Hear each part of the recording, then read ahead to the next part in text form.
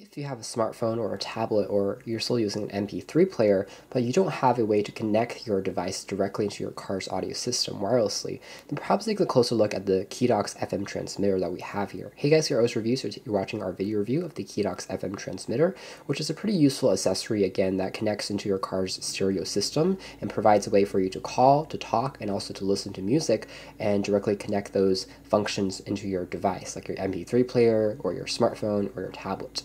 Now, the version we have here is actually less expensive than the uh, Bluetooth variant by the manufacturer, the by Keedox, and uh, this version here only retails for about twenty dollars. So it's less expensive again than that Bluetooth version, which is a bit more high end and more fancy, but essentially it does the same features. Uh, quality as a whole is not as strong as Bluetooth, but that's a bit to be expected because we're using uh, FM radio technology, which is a bit older in terms of the technology, but it still works pretty well. And uh, in general, for listening back music for talking back as a speakerphone. It's pretty crisp, it's loud, and provides ample volume when you're accessing those features. So taking a look at the packaging, it's pretty simple. We have the device, uh, there's a window that shows the unit and also the accessories that's included. On the back, there's some more information about the product. It's actually going to work with any modern day smartphone, like your iPhone, Samsung devices, HTC, MP3 players, GPSs. It simply connects to a 3.5mm jack on your product and you're ready to go.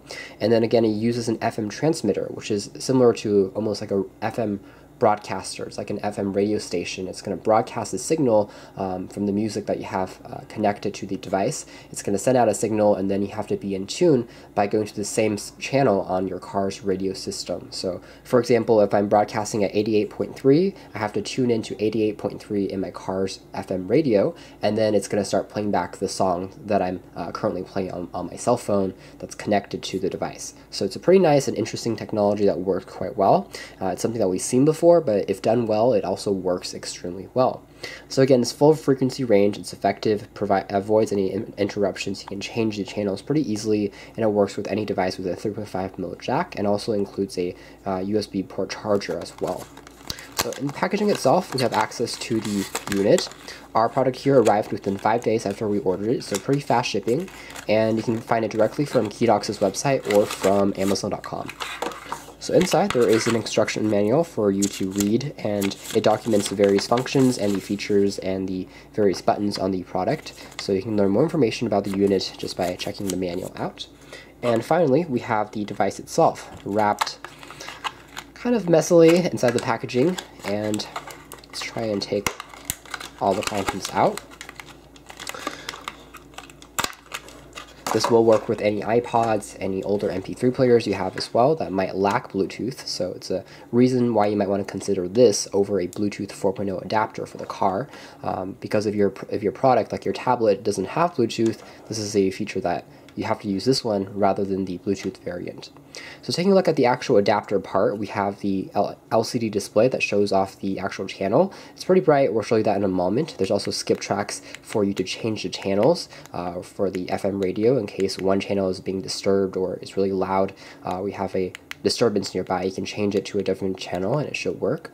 It's crafted out of a soft touch rubber material, which is pretty uh, nice. It prevents any fingerprints and it feels solid in construction. The cable length is also pretty strong and long. The other end just features a 3.5mm jack that's gold plated for a tight connection between your phone or your tablet or MP3 player and the device itself. And the other end just features a cigarette lighter that plugs in for power. There's also an additional USB port, so you can also charge your phone or MP3 player uh, when you're using it in your car. So it's a nice two-in-one feature. There's also an LED indicator to tell you that when power is being provided, in, you see that the blue LED indicator has started to illuminate, and the actual display itself is actually red red in illumination. It's pretty bright, it's responsive and quite sensitive, and you can easily shuffle between different channels you might want to use. Again, perhaps if one channel offers a lot of disturbance, it's really staticky nearby, you can always change it to another channel to provide a more higher quality um, experience. And so the other end would simply be plugged into your phone, uh, 3.5 mil jack. Here we have plugged into our phone, and then you you then change the channel on your car's FM radio to the same one being displayed on here. So in this case would be 89.8, and then it, the sound playing back through your car's audio should now be the music being played back on your phone or MP3 player.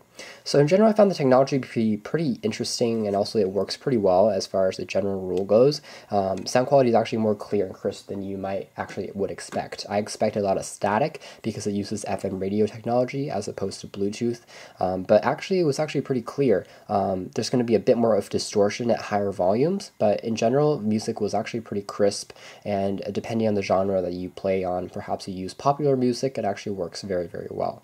So it's a good way to add, again, wireless functionality or for a way for you to connect your device into your car's audio system uh, using a very low cost solution that works quite well. The Keedox FM radio transmitter for your car's audio system isn't anything we haven't seen before. In fact, when the iPods were all the rage back in about 2006 or 2008, we saw a lot of these accessories being sold in uh, electronic stores around the nation. But this is a more modern version that works a bit better, has a clearer display uh, that's really streamlined, easy to use, and we also like the feature that there's an additional USB port for charging that's included right inside the design, which is pretty unique. So it's a two-in-one device that works and functions pretty much exactly as advertised. Now, is the audio quality as clear as some Bluetooth counterparts? Probably not, but at the same time, it's more inexpensive, and also it's going to work if you're MP3 player or your i or your phone or your tablet doesn't have Bluetooth, this is one of the only options that you can use. So overall, it works pretty well, and we would recommend it as a whole. You can check out our written review for more details about the product. This has been our video review here at OS Reviews of the Keedox FM radio transmitter for your car's audio system.